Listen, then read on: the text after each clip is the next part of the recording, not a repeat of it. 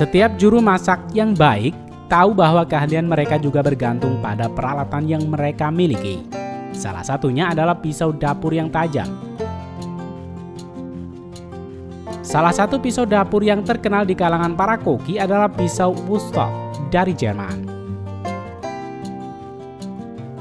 Pisau Wusthof menghadirkan kombinasi tradisi dan inovasi dalam setiap produknya. Pisau-pisau ini tidak hanya digunakan oleh koki profesional, tetapi juga menjadi pilihan utama di dapur rumah tangga di seluruh dunia. Di balik setiap pisau Wusthof terdapat proses produksi yang canggih, melibatkan puluhan tahap yang dikerjakan dengan ketelitian oleh mesin-mesin modern dan tangan-tangan para pekerja ahli. Mulai dari pemilihan bahan baja terbaik hingga proses penajaman yang sangat presisi, setiap langkah dilakukan dengan standar tertinggi.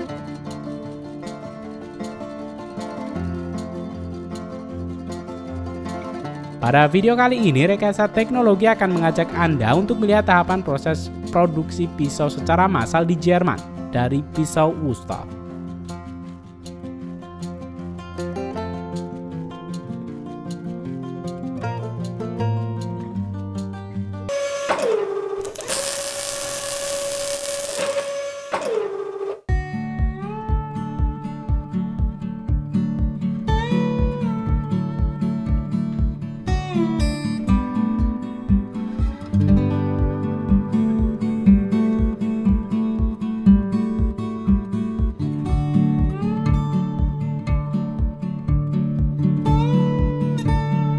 Pisau Wusthof dibuat secara eksklusif di fasilitas manufaktur canggih yang terletak di kota Solingen, Jerman.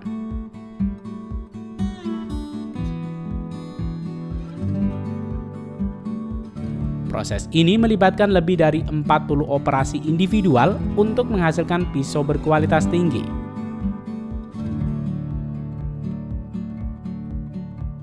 Proses ini dimulai dari para desainer spesialis yang menciptakan desain pisau baru yang optimal.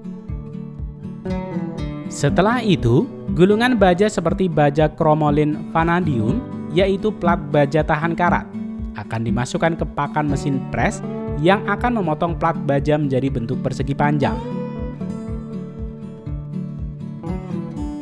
Berikutnya, plat baja pisau ini dipanaskan di dalam cetakan pada suhu 1200 derajat Celcius dan ditempa secara tepat untuk membentuk bilah pisau.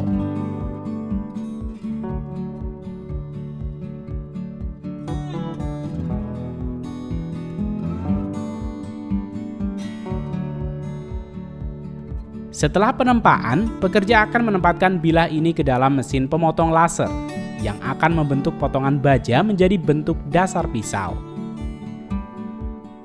Pada tahapan ini, baja ini masih lunak sehingga perlu proses pemanasan untuk mengeraskan baja. Bilah baja ini akan dipanaskan sekitar 1050 derajat Celcius. Pisau dikeraskan dalam oven pengeras Wusthof hingga mencapai tingkat kekerasan 58 Rockwell Setelah itu, pisau didinginkan dengan cepat untuk mencapai kekerasan yang optimal.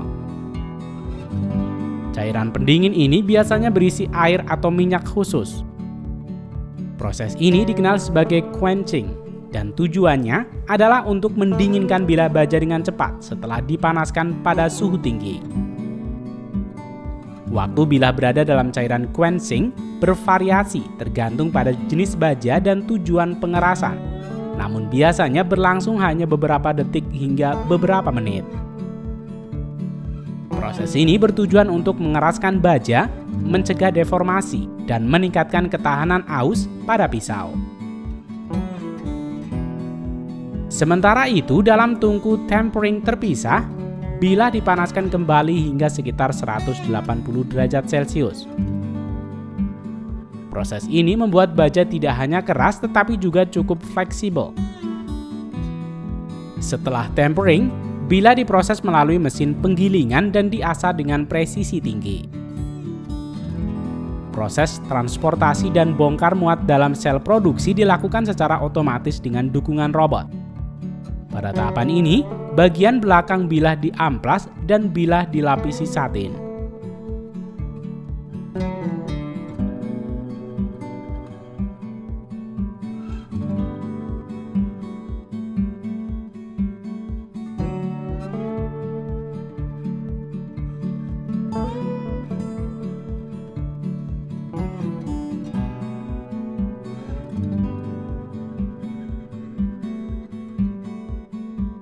Setelah pelapisan, bila diberi penanda coolant secara individu oleh robot.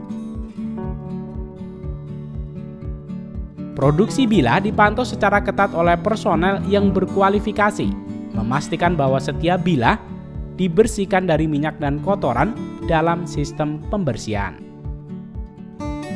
Hanya bilah yang lolos pemeriksaan sempurna yang menerima segel kualitas pisau Wusthof.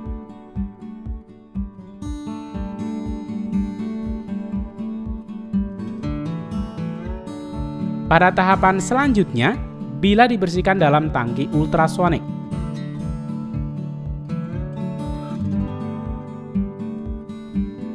Proses pencetakan pegangan juga dilakukan secara otomatis.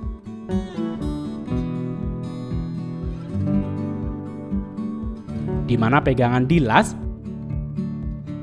dan dipasang pada tang menggunakan tiga kali lipatan paku keling yang akan mengikatnya dengan erat.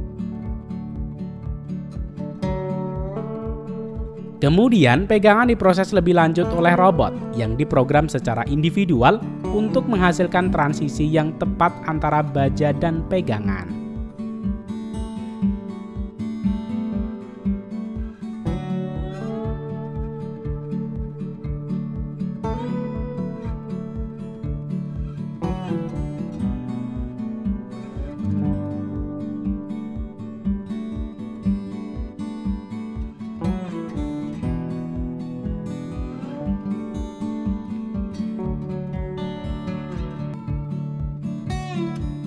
Akhirnya, pisau-pisau ini melewati proses penajaman PTAC yang dikembangkan secara khusus, yang memberikan ketajaman tertinggi.